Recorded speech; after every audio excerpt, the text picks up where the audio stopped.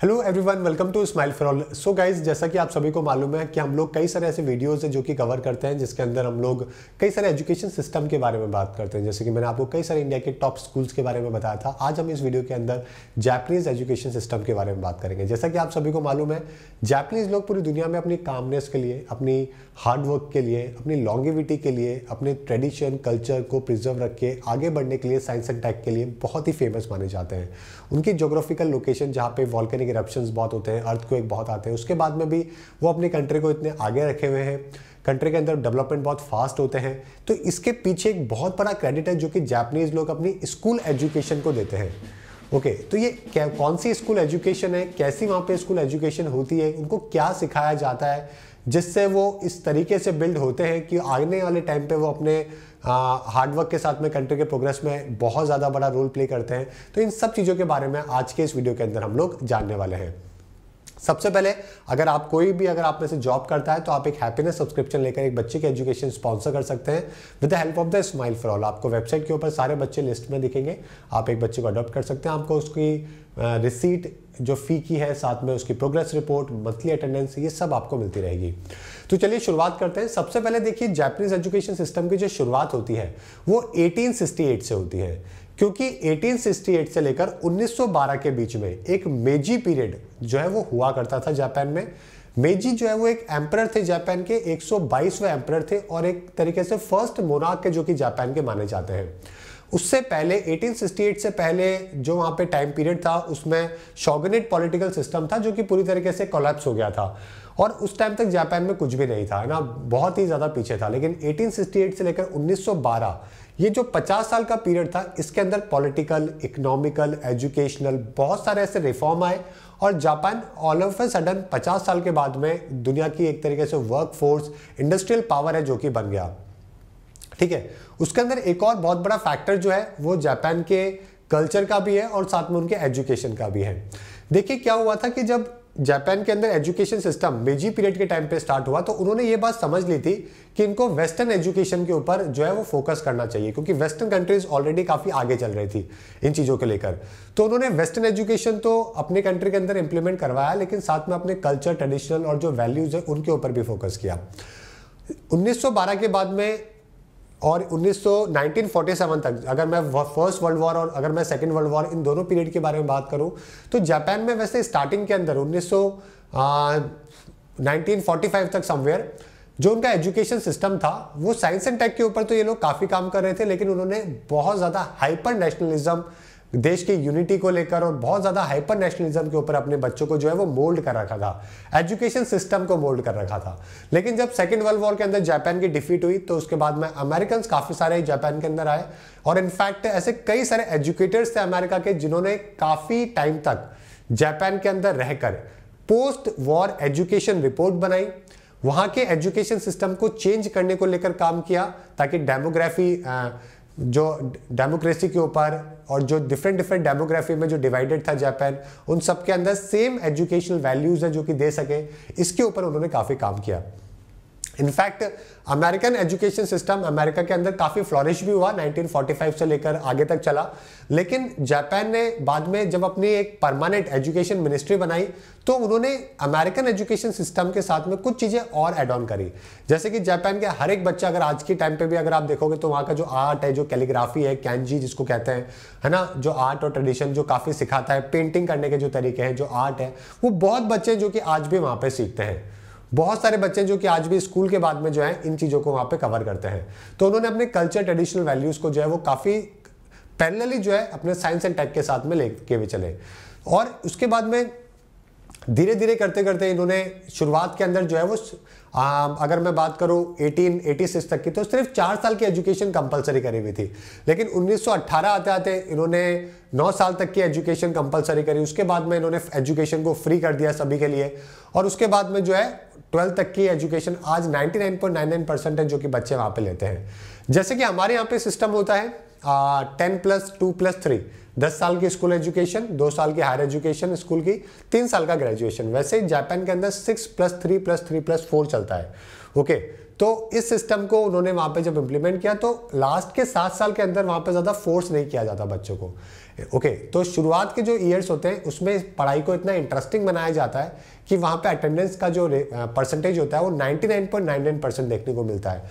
जो बच्चों के ड्रॉप आउट है वो एक परसेंट के आसपास अगर आप अमेरिका में भी देखेंगे तो स्कूल एजुकेशन में ड्रॉप आउट आपको तीन से चार परसेंट देखने को मिलेगा लेकिन जापान के अंदर ऐसा बिल्कुल भी नहीं है। ओके तो वहाँ पर अगर आप ड्रॉप आउट देखेंगे तो एक से डेढ़ का ड्रॉप आउट है जो कि देखने को मिलता है।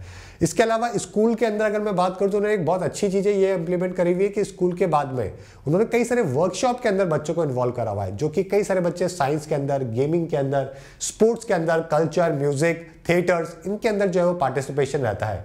तो उससे उनकी पढ़ाई के साथ में उनकी जो जो उनका इंटरेस्ट है वो साथ में वो बिल्ड करने के ऊपर काम करते हैं। इसके अलावा अगर मैं जापान के एजुकेशन सिस्टम के बारे में बात करूँ तो ऐसे और भी बहुत सारे इंटरेस्टिंग फैक्ट्स हैं जिनके बारे में हम लोग डिस्कस कर सकते हैं। जैसे कि अगर मैं फ़र्स्ट फैक्ट के बारे में बात करूँ जापान के एजुकेशन सिस्टम के अंदर आपको कोई भी स्कूल के अंदर कोई भी जो है आपको पियोन या फिर ऐसे कोई भी पर्सन नहीं मिलेंगे जो कि वहाँ पे जो है उनका स्कूल का आ, जो क्लीनिंग करते हो।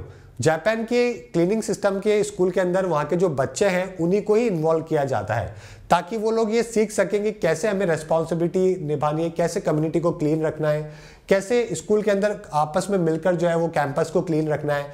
तो किसी भी स्कूल के अंदर कोई भी क्लीनिंग डिपार्टमेंट उनका नहीं होता है, बच्चे ही है जो कि स्कूल के अंदर पूरी क्लीनिंग का काम है जो कि करते हैं। स्कूल के सेकंड इंपॉर्टेंट बात, जापान के जो स्कूल्स है उनके अंदर मेजरली जो है वो सेल्फ डिफेंस की ट्रेनिंग है जो कि दी जाती है।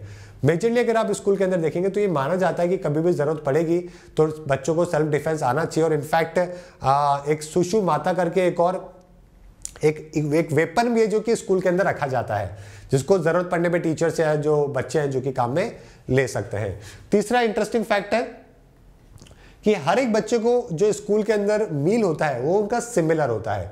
जापान के स्कूल सिस्टम स्कूल वालों ने ही जो है वो क्या कर रखा है? हर एक आ, अपना जो मील है वो एक पूरा सेट ऑफ़ प्रोसीजर है जो कि बना रखा है कि यही मील है जो कि बच्चा लेके आएगा। तो इससे क्या होता है कि यूनिफॉर्मिटी देखने को मिलती है और हर बच्चा जो है अपनी डाइट के ऊपर फोकस करता है, कोई भी वेस्ट या कोई भी गलत फ़ूड फास्ट फ़ूड ये सब नहीं खाता है और एक एक प्रॉपर जो है मील प्लान है जो कि बच्चों के लिए दिया जाता है। एक और इंटरेस्टिंग बात कि जापान के एजुकेशन सिस्टम में 99 परसेंट बच्चे कभी भी स्कूल के अंदर जो है वो लेट नहीं आते हैं। उनका जो टाइमिंग है, जो पंचुअलिटी है, उसके ऊपर स्कूल मेजरली फोकस करते हैं। और 91 परसेंट बच्चे इस चीज़ से ज़्यादा खुश भी हैं। जब एक हैप्पीनेस के ऊपर बात करी गई कि सिस्टम से जो है वो डिसिप्लिन वाला, जो पंचुअलिटी वाला है, इससे कितने हेल्प मिलती है तो 91 परसेंट बच्चों ने बोला कि इससे हमें आगे लाइफ के अंदर बहुत हेल्प मिलती है। तो एक ऐसा सिस्टम बिल्ड किया गया जिसमें लोग टाइम पर जाते हैं। Okay okay. अगर कोई गलती से लेट भी हो जाए तो बाद में आफ्टर स्कूल जो है उस बच्चे को उतनी ही देर रोका जाता है और टीचर जो चीज़ मिस हो चुकी है, वो पढ़ाते हैं। ठीक है? उसके बाद में बात करें जो जो भी हॉलीडेज आते हैं, वहाँ पे जापान में जो स्कूल्स हैं, वहाँ पे वोकेशनल ट्रेनिंग्स होती है। हमारे यहाँ पे भी होती है, अगर आप देखोगे तो समर कैंप्स है जो कि लगाए जाते हैं। तो इस तरीके से जापान के अंदर भी समर कैंप्स है जो कि देखने को मिलते हैं। ओके, इसके अलावा शुरुआत के दस साल तक जापान के अंदर कोई भी एग्ज़ाम नहीं होते हैं। इनफैक्ट जब बच्चा स्कूल के अंदर जाता है तो वहाँ पे सबसे ज़्यादा जो इनिशियल ईयर्स में जो प्रैक्टिस करवाई जाती है बच्चे को वैल्यूज़ की करवाई जाती है। कैसे आपको बड़ों का रेस्पेक्ट करना है कैसे आपको कैंपस को क्लीन रखना है ओके okay, कैसे आपको बिहेव करना है कैसे आपको कंट्रीब्यूशन लोगों की हेल्प करनी है। तो जो बेसिक फंडामेंटल्स है, उनके ऊपर काफ़ी फोकस किया जाता है एंगर मैनेजमेंट के ऊपर स्पीकिंग के ऊपर पब्लिक स्पीकिंग के ऊपर। तो शुरुआत के दस सालों के अंदर इन चीज़ों के ऊपर ज़्यादा फोकस किया जाता है और कोई भी एग्ज़ाम नहीं होता है। इनफैक्ट जापान के कल्चर के अंदर किसी भी बच्चे को फेल करने का कल्चर ही नहीं है। ओके तो अगर वो चाहे तो ट्वेल्थ तक विदाउट फेल हुए भी आगे बढ़ सकता है। लेकिन यस ट्वेल्थ के बाद में जब उनको आगे कॉलेजेस के लिए यूनिवर्सिटीज़ के लिए अप्लाई करना पड़ता है, तब उनको बहुत टफ कंपटीशन देखने को मिलता है, क्योंकि वहाँ पे फिर मार्क्स है जो कि मैटर करते हैं। तो इसीलिए स्कूल एजुकेशन के बाद में जो कॉलेज के बीच में जो टाइम होता है, उसको वहाँ पे एग्जामिनेशन हेल कहा जाता है। क्योंकि उसके बाद में बहुत कंपटीशन जैसे कि हमारे यहाँ पे आई और एम्स के लिए देखने को मिलता है, उसी तरह के जापान में भी देखने को मिलता है। लेकिन आ, एक उनके लाइफ का सबसे जो अच्छा मोमेंट होता है वो कॉलेज का मोमेंट है जो कि वो बताते हैं। क्योंकि कॉलेज के अंदर बहुत ज़्यादा इंडिपेंडेंस फ्रीडम लिबर्टी जो है बच्चों को मिलती है। तो उनका लाइफ का सबसे बेस्ट पीरियड माना जाता है बिफोर वर्क ओके तो एक तरीके से लेक्चर टाइम बिफोर वर्क के तौर पे वो अपने कॉलेज को वहाँ पे देखते हैं जहाँ पे वो सीखते भी है और साथ में फ्री टाइम भी उनको काफ़ी मिलता है। एक और इंपॉर्टेंट फैक्ट्स है जो कि है वहाँ पे आ, जापान की मैथमेटिक्स को लेकर। जापान के अंदर मैक्सिमम कोशिश करी जाती है कि बच्चे को मैथमेटिक्स से लेकर बाकी जो सब्जेक्ट है वो एक्सपेरिमेंटल लर्निंग के थ्रू समझाया जाए।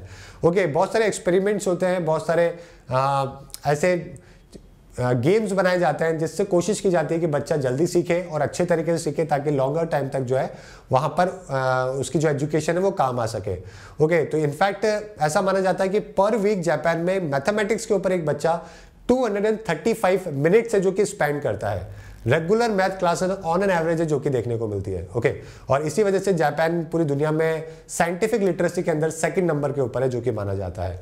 ओके गाइस तो ये था दोस्तों एक जापान के एजुकेशन सिस्टम के ऊपर एक एक स्मॉल वीडियो जो कि उम्मीद करता हूँ कि आपको काफ़ी चीज़ें हैं जो कि पता चली होगी। और आप इस वीडियो को शेयर ज़रूर करिएगा ताकि ज़्यादातर लोगों को जापान के एजुकेशन सिस्टम के बारे में पता चल सके।